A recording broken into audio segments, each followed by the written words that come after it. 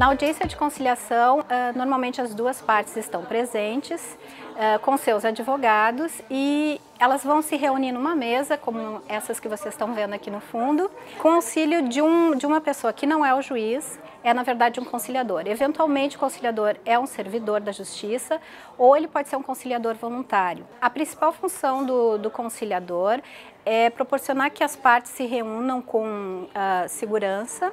Ele orienta como é que vai ser feita essa negociação, essa conversa entre as partes, para que elas procurem construir juntas um acordo, a melhor solução para os problemas que ela tem tramitando na Justiça Federal. As partes precisam estar conscientes que tudo que for conversado ali está preservado por sigilo elas têm absoluta liberdade de conversar, trocar ideias, pensar em soluções, esclarecer dúvidas, porque nada do que é falado ali vai ser levado para o processo. Quando as partes encontram uma solução comum, o que a gente chama de acordo, os termos deste acordo fica registrado no termo dessa audiência.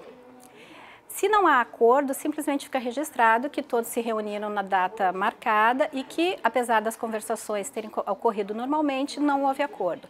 Não havendo acordo, o processo volta a tramitar na justiça normalmente. Para finalizar, então é sempre importante lembrar que as pessoas não são obrigadas a conciliar, é uma oportunidade que elas têm para sentar juntas e pensarem juntas na melhor solução para os problemas que elas estão tramitando com os processos na justiça e que não havendo acordo, nada prejudica no processo continuar tramitando normalmente na justiça.